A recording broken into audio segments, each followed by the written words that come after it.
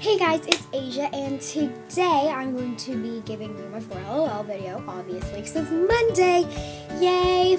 Um, so this week's theme is 60 Seconds Week, so I'm going to be giving you as many facts as I can about myself in 60 seconds. And without further ado, let's get started. So fact one is I don't have any pets at my house.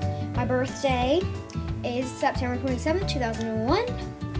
Um, I have a beauty channel, link in bio, you guys probably know that, lookcute 101. I have a brother and his name is Brooks. I have a green eyes, I cheer, I'm a, a level 2, almost level 3.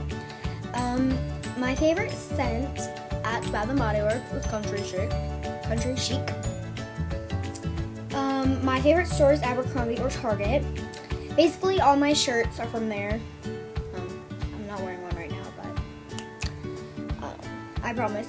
I love Panda Express and I love the Crab and Jones. They're they, literally I call them my babies.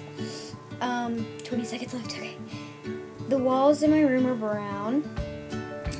Um, when I grow up, I want a beetle bug as a car, and my mom has one, so I probably will get hers. Um,